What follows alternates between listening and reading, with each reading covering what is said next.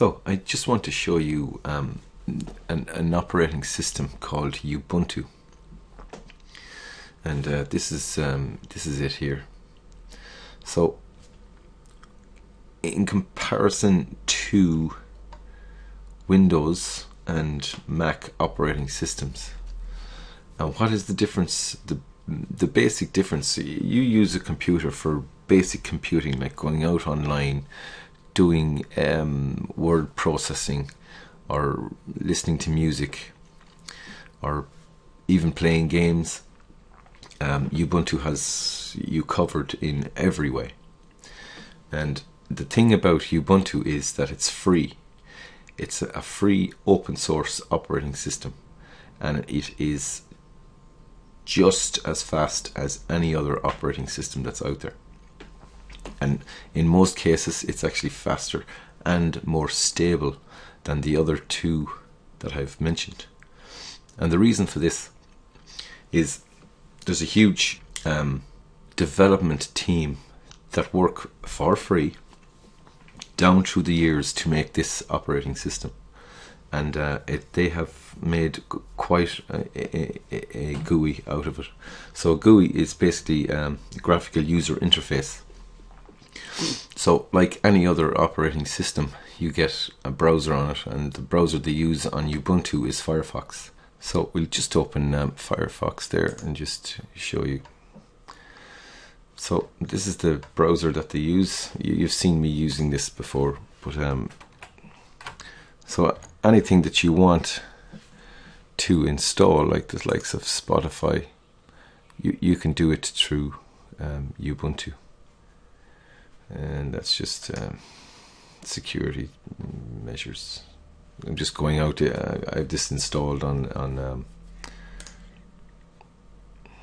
agree. But uh, as I said, you you, you can um, you can download anything you want um, that you you think you can need. And again, if you have help, if you if you need help with any of this,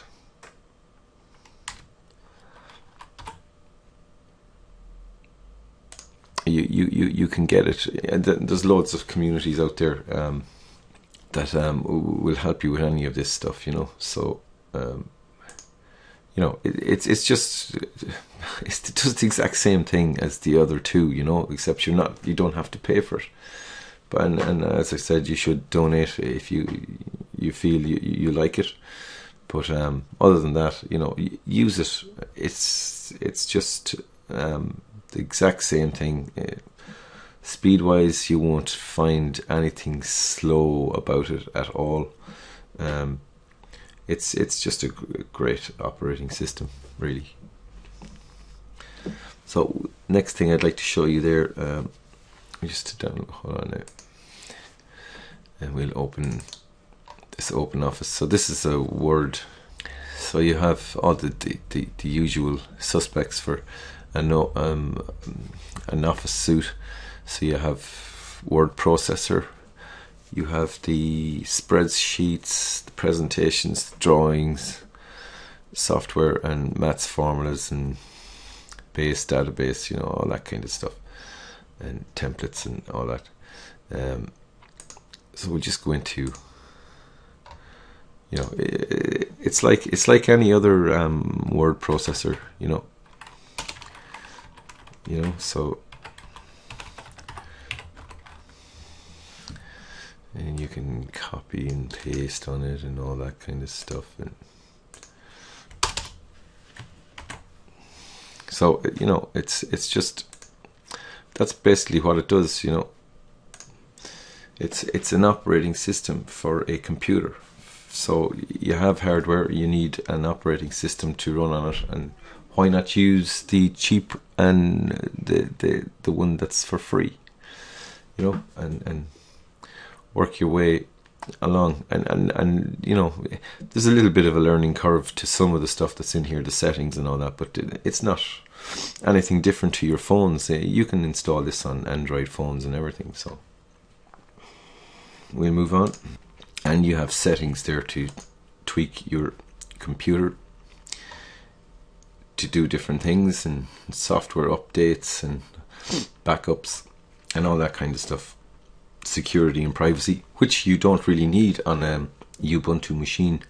It doesn't really get viruses. Now, it can get a virus, but I have never seen a virus on, on Ubuntu. Um, I have it on a few different computers. I have it on laptops, I have it on desktops, and uh, it never causes any problems when I'm out online or anything like that. And I think that's got to do with the fact that these viruses and spyware and malware target the other two more so than they do this one because this one isn't used as much. Um, another thing there something similar to the the others is um, the file system. So you have documents, downloads, music, pictures, your public folders, your templates and videos and all that kind of stuff and then your desktop, your apps that you want to put on here in the in the in the actual desktop itself. So I just wanted to show you to, to uh, not so much to compare it to the other two because there really isn't any comparison because the other two are you have to pay for these operating systems like Windows 10 and um, the Mac.